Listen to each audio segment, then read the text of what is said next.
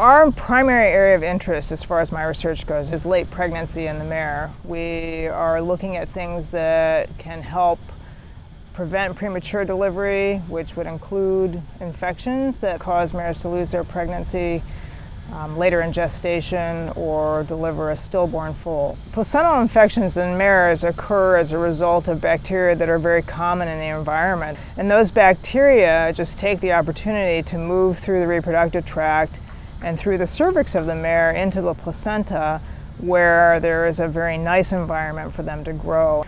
Some of the primary ways that we will both diagnose as well as monitor a placental infection in mare would include using ultrasound. We use ultrasound of the abdomen to look at the developing fetus and to monitor things such as fetal heart rate, which help us know whether or not the fetus is in distress, whether it's developing normally, whether it's still alive. So we generally treat with several different drugs, including antibiotics, and we do use anti-inflammatory agents and we use a synthetic progesterone compound to try to prevent pre premature delivery. Uh, we still have a lot to learn about this area of research and we need to know more about the causes of placental infections so that we can better direct our treatments and prevent premature delivery.